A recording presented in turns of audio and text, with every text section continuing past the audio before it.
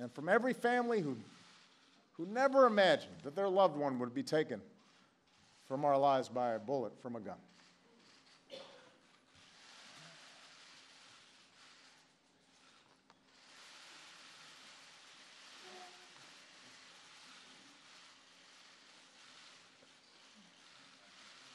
Every time I think about those kids, it gets me mad. And by the way, it happens on the streets of Chicago every day.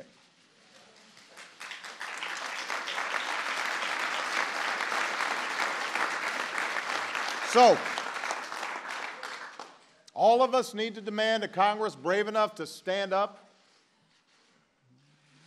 to the gun lobby's lies. All of us need to stand up and protect its citizens. All of us need to demand governors and legislators and businesses do their part to make our communities safer.